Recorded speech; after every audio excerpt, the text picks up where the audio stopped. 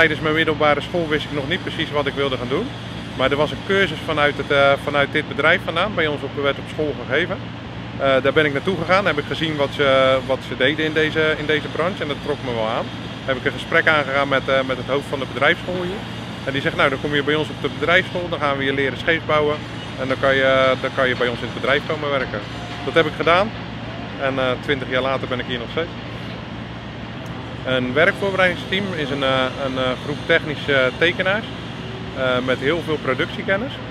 En die kunnen van een, van een tekening, dus van een boot of een booreiland, kunnen ze allemaal kleine onderdeeltjes maken. En die kleine onderdeeltjes worden gemaakt en vervolgens weer in deeltjes bij elkaar gezet totdat het weer een, een schip of een gedeelte van de booreiland is. Het leukste van mijn werk is dat ik elke dag wat anders doe. Het is, het is nooit precies hetzelfde. Uh, er is heel veel techniek op een, uh, op een hoog niveau. En de mensen die, uh, waar je mee werkt hebben heel veel passie voor de werk. Dat zie je heel veel in dit vak. Mijn meest uitdagende project is geweest de Balde. Dat is van een Nederlandse klant. daar hebben we een nieuwe machinekamer met generators ingebouwd. Daar hebben we een J-Lay Tower aangebouwd.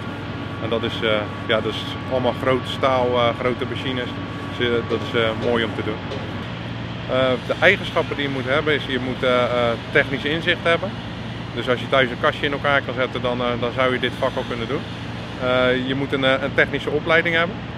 En vervolgens moet je leren tekenen en veel ervaring opdoen in de productie. En als je dat hebt gedaan, dan kan je werk voorbereiden worden.